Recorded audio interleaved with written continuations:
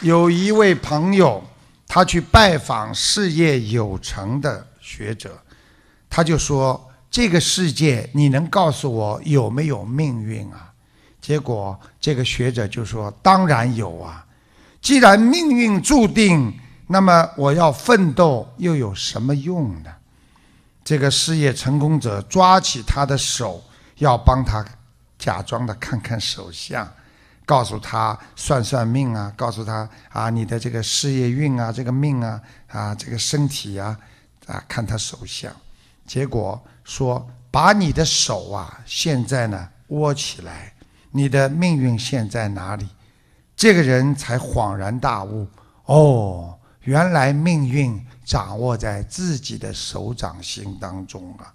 成功者说，命运虽然掌握在自己的手中。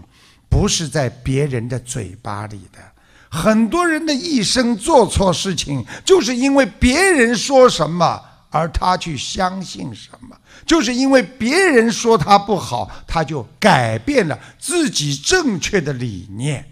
所以，这个就是你命没有控制到自己的手掌心当中。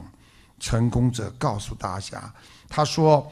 命运绝大部分是掌握在你的手中，但是还有很多的命运线是流出你的手掌的，所以部分是人为所不能控制的，这就是你的命。能控制的就叫运。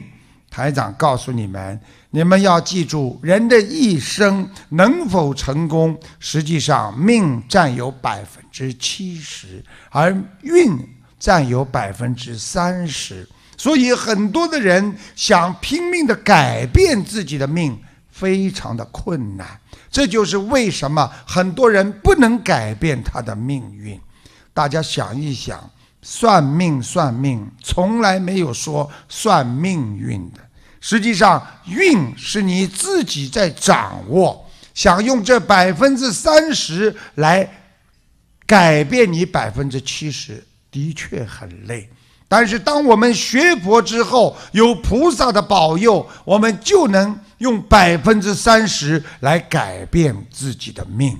这就是学佛人叫学佛改命。